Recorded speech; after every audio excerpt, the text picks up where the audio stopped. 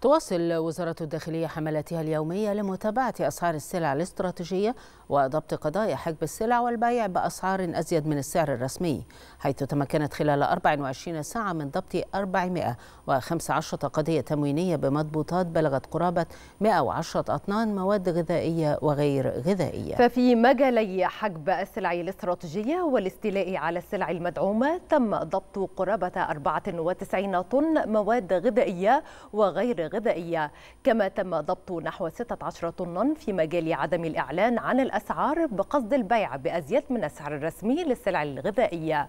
وفي مجال قضايا المخابز تم ضبط 645 قضية من بينها 192 قضية خبز ناقص الوزن و198 قضية خبز غير مطابق للمواصفات.